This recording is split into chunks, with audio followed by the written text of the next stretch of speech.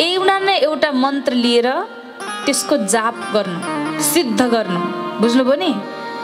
जति पनि शरणागत हुनुभएको छ उहाँहरूले त गुरु प्राप्त गुरु बनाइसक्नु भएको छ पञ्च संस्कार पनि गरिसक्नु भएको छ अनि त्यसमा सबै प्रकारले अगाडि बढी पनि रहनु भयो होला। जसले बनाउनु भएको छैन भने पनि अब कहिलेकाहीँ मेरो भोजन मिलेको छैन होला कहिलेकाहीँ मैले गरेको आचरण मिलेको छैन होला भन्ने लागेको पनि होला हजुरलाई। सकेसम्म मिलाउने प्रयास गर्नु नमिलाउन सकेको छ भने पनि गायत्री जाप गर्नु। सबैले बुवाहरूले त अनिवार्य जाप गर्नु। गायत्री जाप नगर्ने त मनुष्य होइन भने छ बुझ्नुभयो नि? गायत्री त जाप गर्नु। अनि आमाहरूले पनि लक्ष्मी गायत्री भए पनि जाप गर्नु। बुझ्नुभयो नि? सबैले जाप गर्नु। त्यो पनि छैन भने भागवतजीको यो सुन्दर सारांश यो सुन्दर भागवतजीबाट प्राप्त भएको यो मन्त्र द्वादशाक्षर महामन्त्र ओम नमो भगवते वासुदेवाय भए पनि जाप गर्नु। जे प्राप्त भएको छ हरिशरणम हरिशरणम भने पनि भयो राधा राधा भने पनि राधे कृष्ण भने पनि सीताराम भने पनि लक्ष्मीनारायण भने पनि ओम नम शिवाय भने पनि जय मातादी भने पनि जे भने पनि भगवान् नाम चाहिँ लिइरहनुहोस् है। त्यो मन्त्र जाप नाम मन्त्र महामन्त्र भनेको छ सबैले जाप गर्नुहोला। दत्तात्रेय मुनिले पनि यहाँ गुरु बनाउनुहुन्छ प्रत्येक गुरुबाट ज्ञान प्राप्त गर्नुहुन्छ र अघि अष्टसिद्धिको वर्णन गरिएको छ। अनेक प्रकारले कलियुगको रचनाको वर्णन अन्तमा आउँछ जहाँ मौनी राजाहरू व्यापक रूपमा हुन्छन् रे के कलियुगमा? यहाँ अन्तिममा अचम्म अचम्मको कुराहरू लेखिएको छ। एउटा कुरा चाहिँ म बताइदिन्छु है।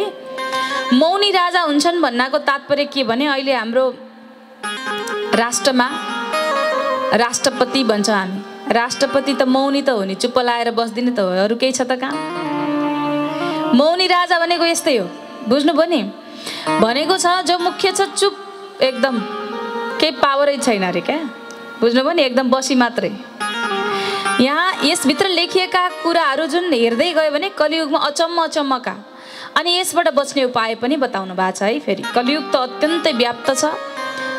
यस्तो कठोर दिनहरू आउँदैछन् भविष्यमा। अहिले त भगवान्को नाम भइरहेछ सबैले लिइरहेछन्। पछि पछिको अवस्था के होला?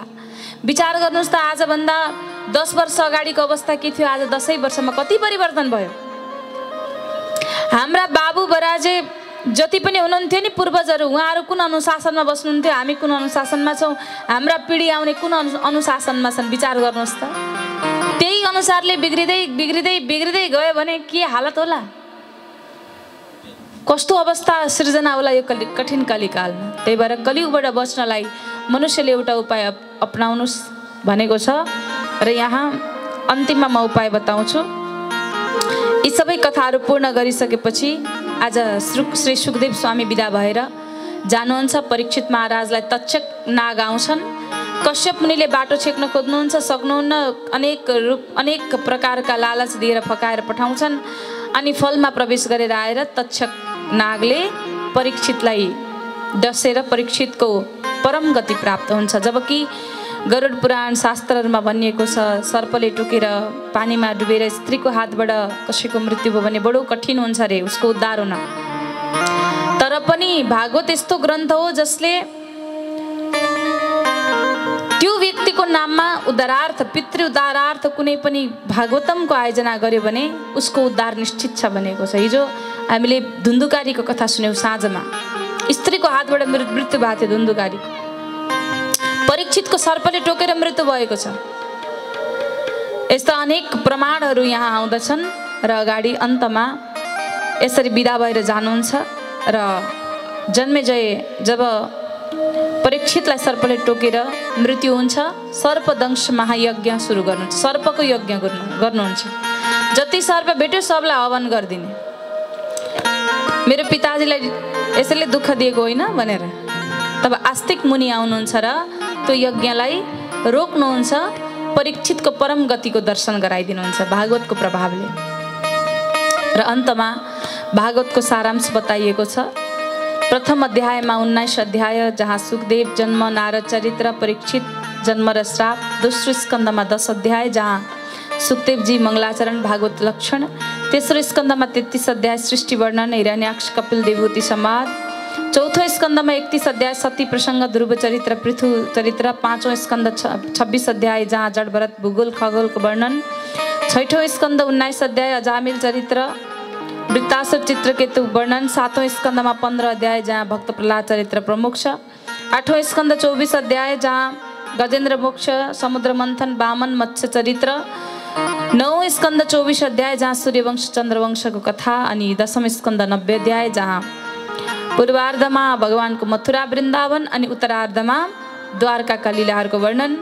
एघारौँ स्कन्दमा एकतिस अध्याय जहाँ दत्तात्रेय चरित्र भगवान्को सुधाम गमनको कथा बाह्रौँ स्कन्दमा तेह्र अध्याय जहाँ कलियुगको वर्णन। र कलियुगसँग बच्ने उपाय र सुखदेवजीको अन्तिम उपदेश परीक्षितको धाम धाम गमन र पुराणहरूमा। यहाँ बडो यो कलियुगबाट बस्ने उपायको लागि विशेष गरी यहाँ बताउनु भएको छ बाह्रौँ स्कन्दबाट र अन्तमा के भन्नुहुन्छ बाह्रौँ स्कन्दमा भने जसरी सम्पूर्ण नदीहरूमा गङ्गा श्रेष्ठ छिन् त्यस्तै सम्पूर्ण शास्त्रमा यो भागवतम अति उत्तम मानिएको छ अरे। सम्पूर्ण वैष्णवमा भगवान् शङ्कर उत्तम हुनुहुन्छ र यो शास्त्र जसले श्रवण गर्दछ यहाँ त ब्रह्माजीले पहिले नै महात्म्यमा बताइसक्नु भएको छ पढ्नाले र श्रवण गर्नाले वैकुण्ठ प्राप्ति हुन्छ भनेर भन्नुभएको छ। एकपटक राधे राधे भनौँ त र अन्तमा अब हामी सबैले हात जोडौँ त ल हात जोडौँ।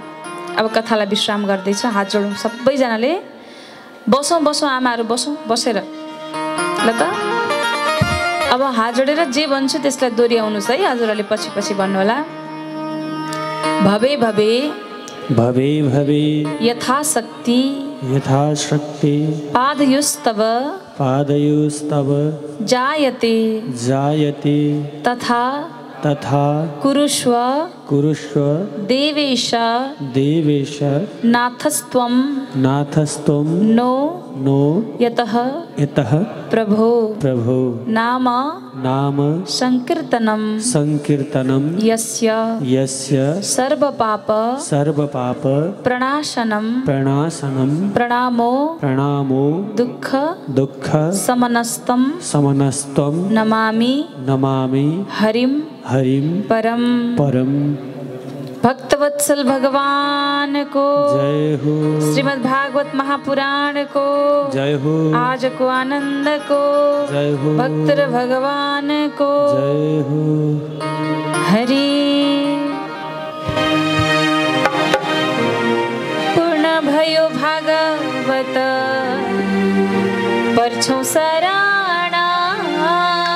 पूर्ण भयो भागवत परछौ शरणा।